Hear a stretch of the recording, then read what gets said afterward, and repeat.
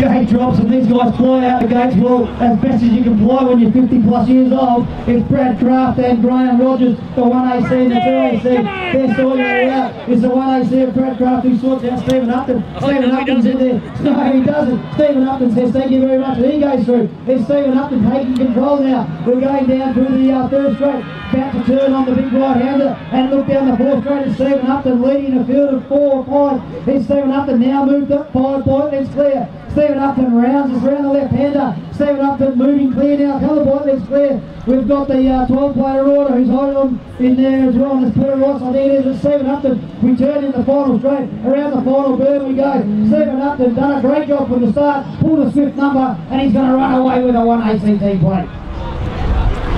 15 girls, last race 15 girls, five.